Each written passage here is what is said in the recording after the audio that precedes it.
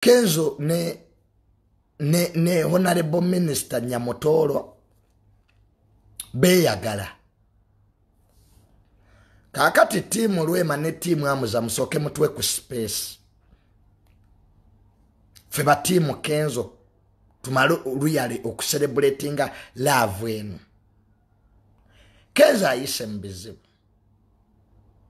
Eva sinsi lwema we wagenda n'ogwo omuguya gwamuza ne mutusaalizanga nga buli olukedde ffe batiimu kenzo. Naye tetwaggwamu maanyi tetwaggwamu ssuubi. Mpaka katonda bwaleese honorable minister nyamutoolo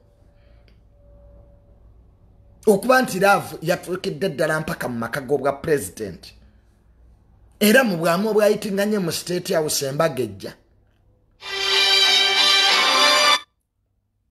okitegeera ekintu ekyo kanze bankubidde mu state house era olaba pulezidenti awo ng'ababuuza nti are you, serious?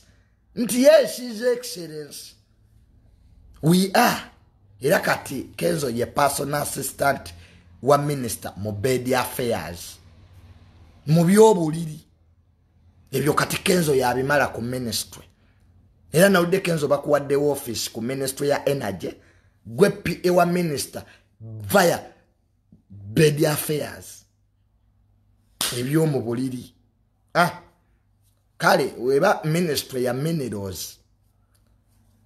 Kenzo oli mu minerals zennyini mwozanyira oli mu minerals kenzo edi kenzo oli mu minerals. Kwa minisita wa minerals nyamutolo kati kenzo alina minerals z'omu buliri alina ez'eggwanga the most powerful man mu ministry ya energy ye edi kenzo. Ye musajja kati asinga amaanyi. Era ne saluti bazimukubira. Era n'ekifo bamuwadde personal assistant of the minister via bed affairs. Ah. so kenzo ke tukusabire